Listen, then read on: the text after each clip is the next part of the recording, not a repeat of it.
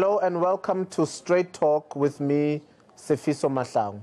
At Straight Talk, I aim to bring you the answers to controversial questions. I speak to leaders of business, controversial figures, eminent persons, the person on the street, and leaders that walk the South African soil. It's very true that the growth of de- developing businesses in this country is just what this economy needs. But this economy is not in the hands of the masses. It's not in the hands of African people.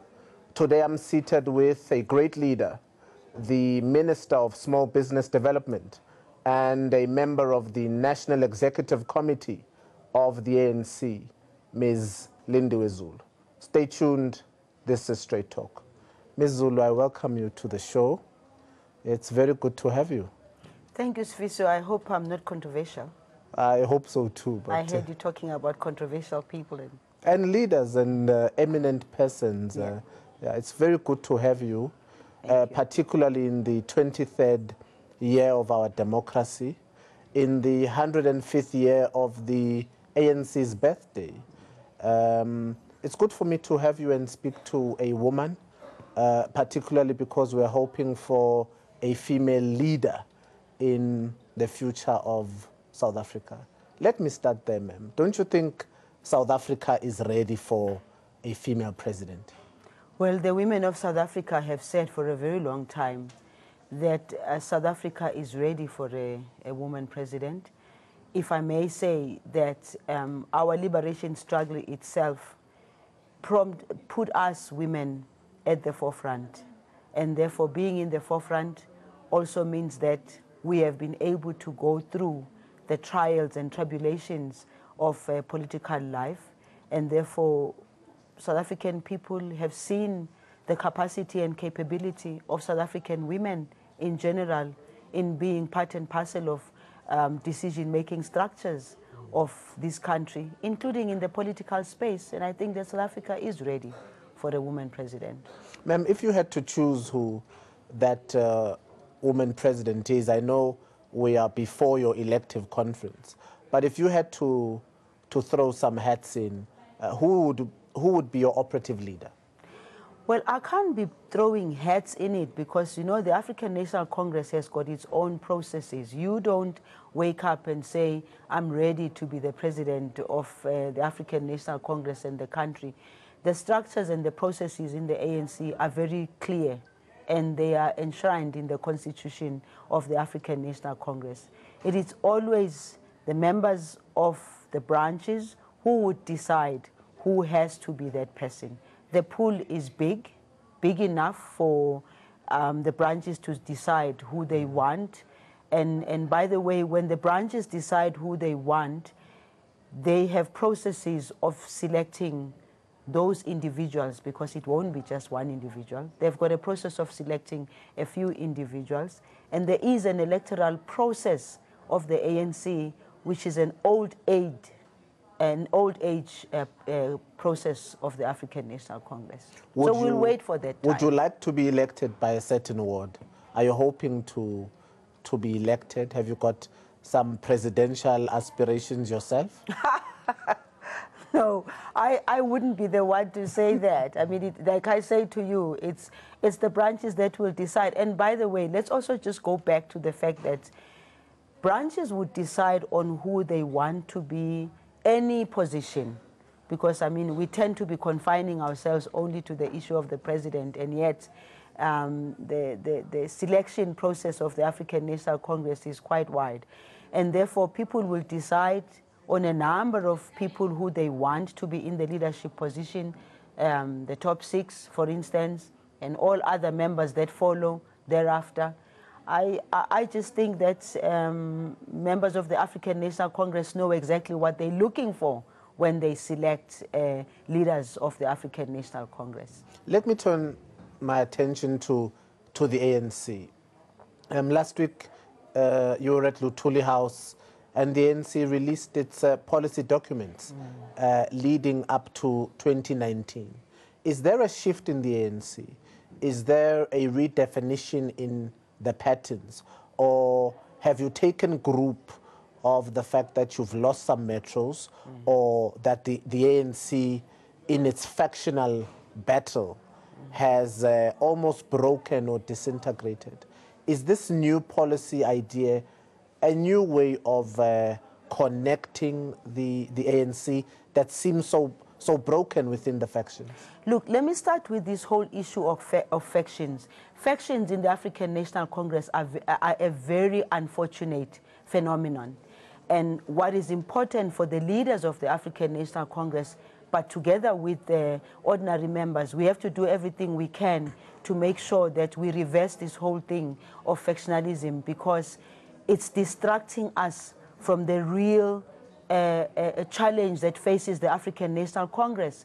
And the real challenge that faces the African National Congress is the transformation of South Africa, both politically, socially, and economically. And we have said already that the biggest challenge that South Africa faces today is that of economic transformation. Now, the ANC as an organization and members of the African National Congress, we really cannot be bickering over small issues or fighting over leadership positions because then we distract, uh, we detract ourselves from the main issue. But more than anything else, we actually put ourselves in the hands of the enemy.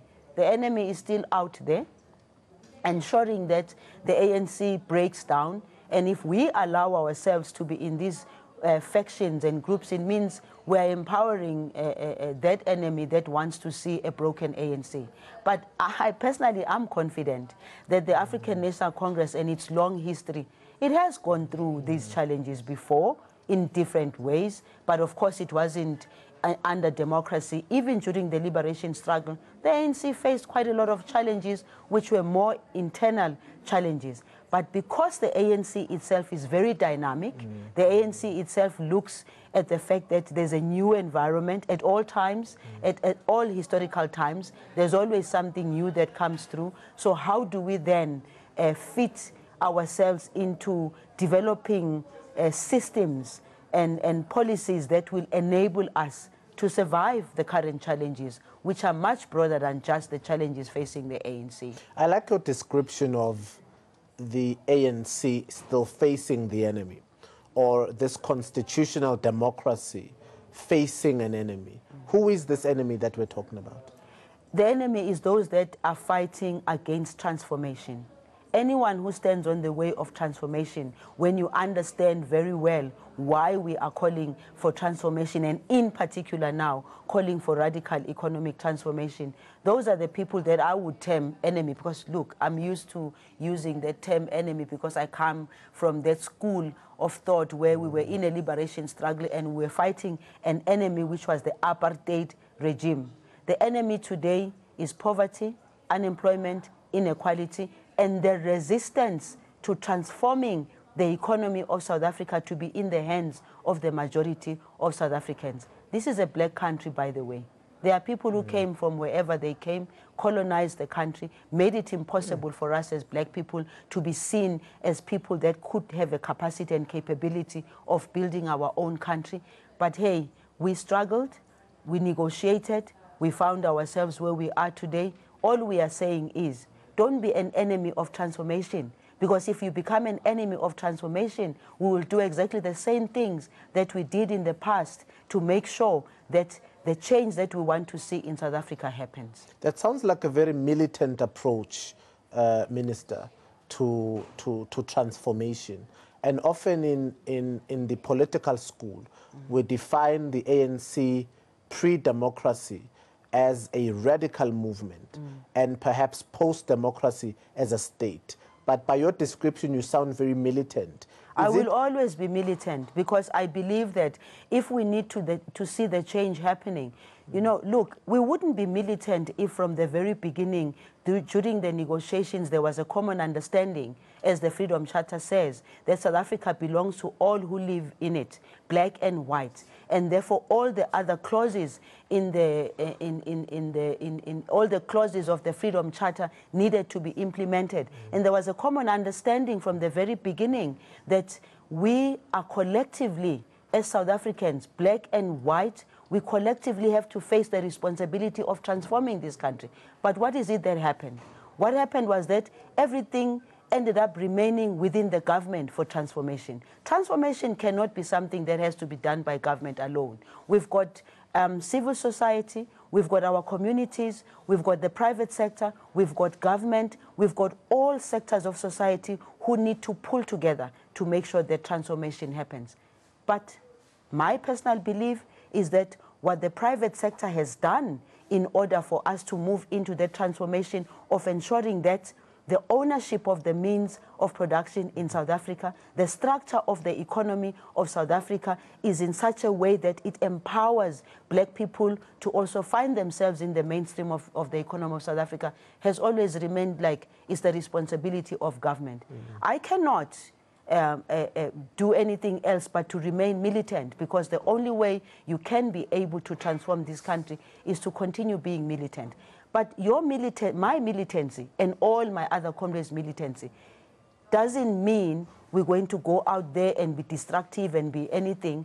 It's just that the same way that we took a decision to join a liberation struggle and fight for all those years cannot be stopped right now. Because right now, who's facing poverty is a black person. Who is facing, who's facing inequality is the black person. Who is facing all the greater challenges of really being just a community and a society is still black people. And who's trying their best to try and meet uh, uh, those and, and try and change that, it still remains the government. Mm. That's why I'm saying, um, please don't dampen my, military, my mili militant uh, uh approach to some of these things mm because I think that it's important for mm us to do that. Minister, the, the ANC is uh, coming up with a new vetting process that uh, needs certain credentials, and they call them merits, before uh, an individual can ascend into ANC positions. Mm. But by the nature of democracy itself, democracy means that the people can elect whomever they please, and that person can ascend. They give that person a mandate, and that person represents them at uh, party structures uh, within the executive, if they will. Doesn't this new process uh, abolish the, the, the democratic processions that the people believe in? Not really. You see, even at the level of selecting who, a, a, a, comrade at any level, there are guidelines towards that.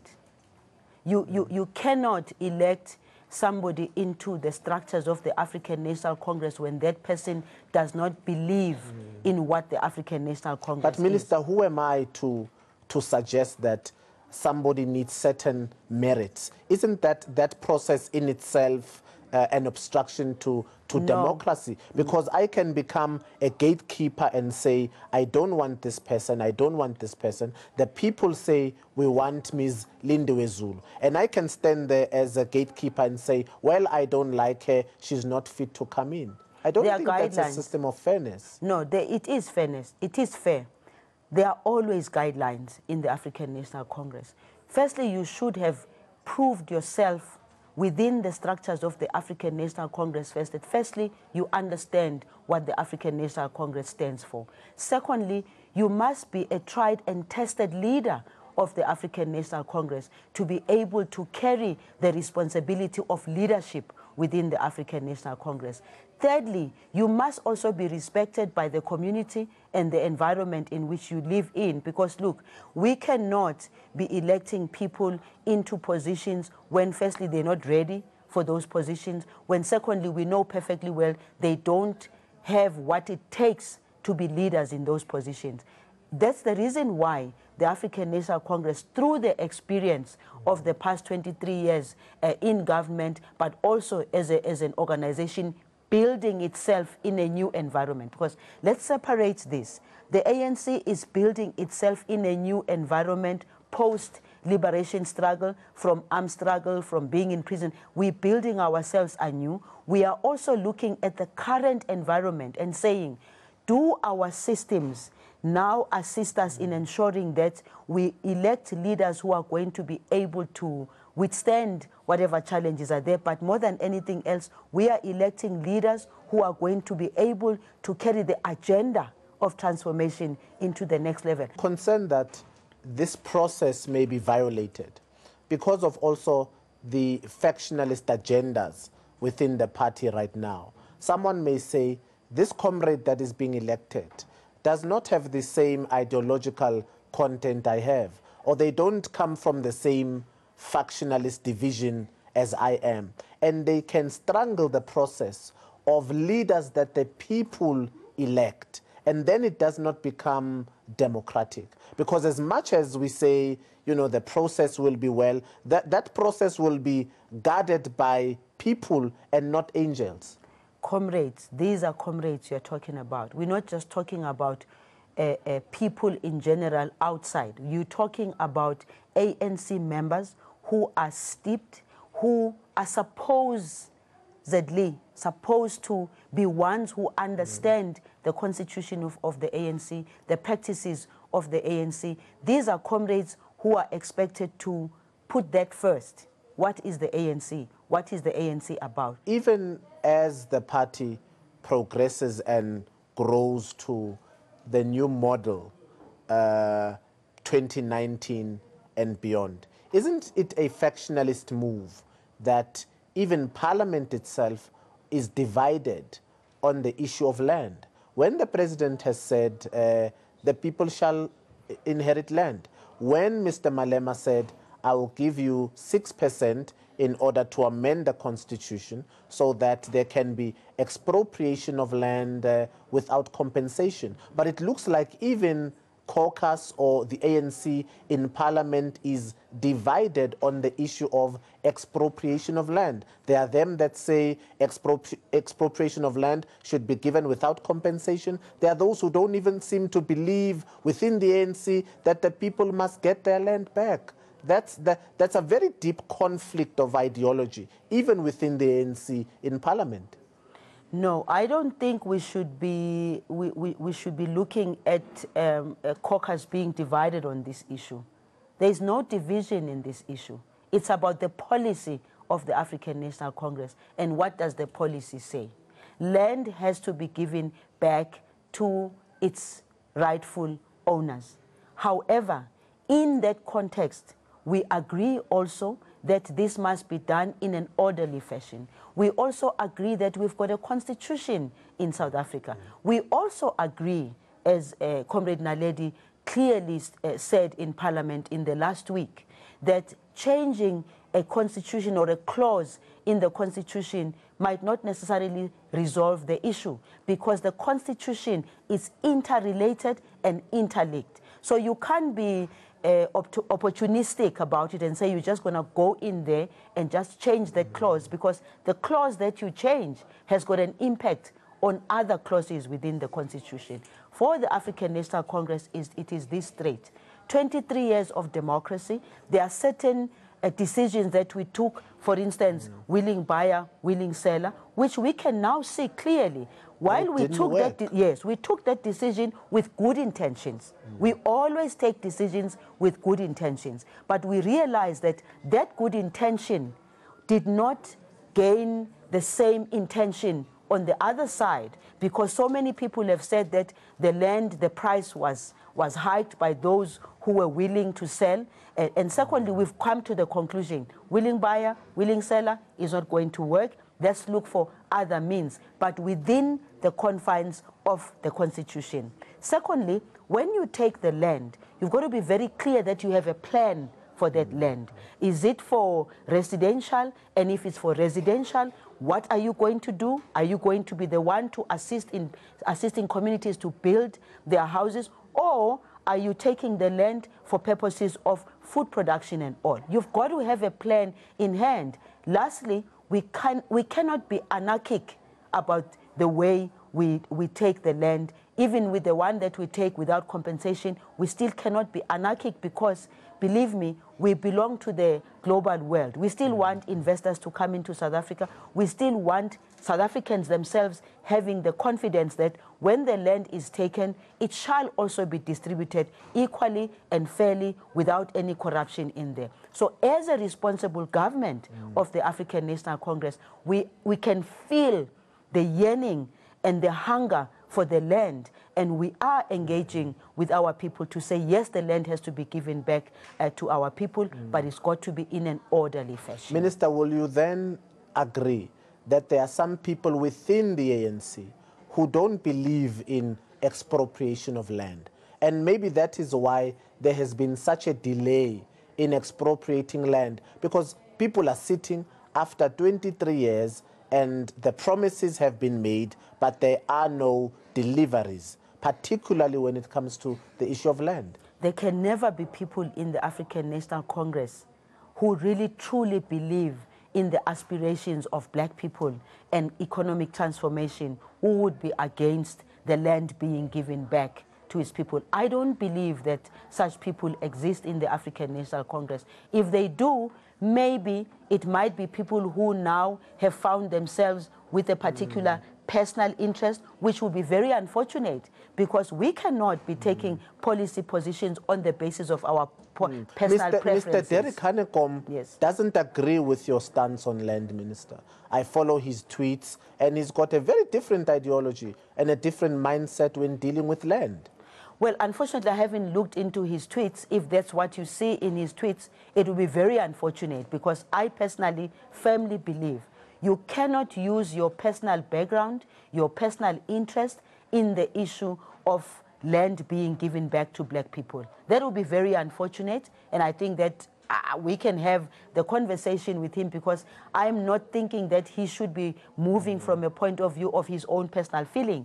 Because look, if all of us were to go according to our own personal feeling, then we'll get back to this whole thing of people grabbing the land and taking the land anyhow. Because what they would put in the front is that this is our land anyway, uh, uh, so let's take it. But my belief and the belief of the African National Congress is that if we want South Africa to be respected in the in the in the in the in the world. Mm. If we want South Africa to be seen to be a country of law and order it means we've got to be able to follow our own systems and our own processes. And where we see that we've put a system in place that's not working it's made by us. Mm. Let's change it. But one of the things that we cannot afford as a country, even for our own citizens. We cannot afford anarchy. We've got to make sure that everything is done properly. Minister, let me draw your attention to the issue of collusion.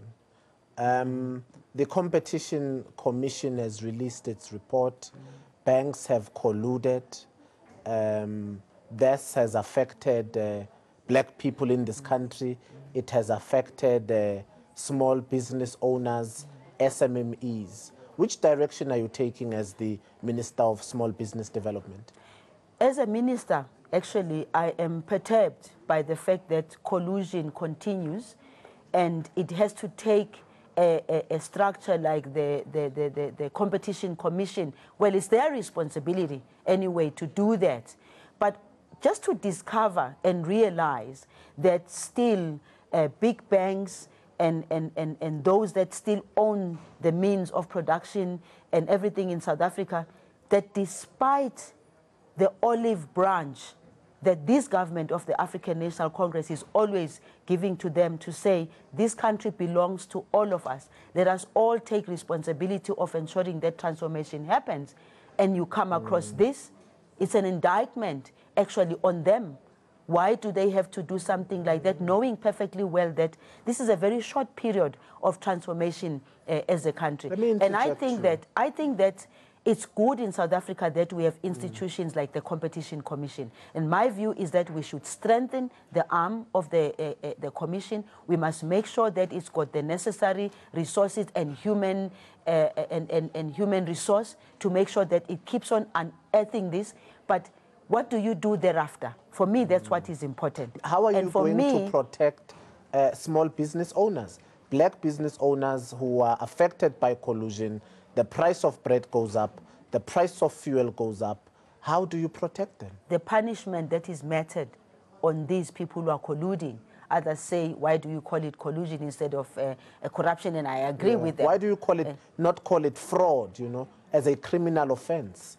Well, I Uh, think it, it is it, it is within the, the, the, the law that, that can be looked into whether there was fraud in there. Because what then needs to happen is that for those who feel that there is fraud in it, there has to be certain processes. Again, We are in a country of rule of law. We must never, ever at any point think that we can do anything anyhow that we want. The reason why we've got the laws, the regulations, and everything is for us to be able to say, now that the, these people have been found to be colluding and the Competition Commission finds them, they have to hmm. pay that fine. But for me, it's beyond just payment of fine. Because I feel that these people have got big pockets. You find them, they go They around, decide and what then the they, fine and should then be. no, they also they say we're going to make up our money anyway. We still Mm. have to find a way of recovering uh, our money. But worst of all is when they still believe that after having been fined, it's up to them to say how that fine, that money has to be, be used. used, mm. I don't believe in that. And, and, and, and for, for, for us in the Department of Small Business Development, we look at this in a very serious light because that's one of the reasons we're talking about the, the, the, the structure of the economy of South Africa. That's why we talk about the ownership of the means of production in South Africa. That's why we're saying, in order for this country to be seen to be a black country at the end of the day, at the commanding heights of the economy of South Africa, there's got to be black people.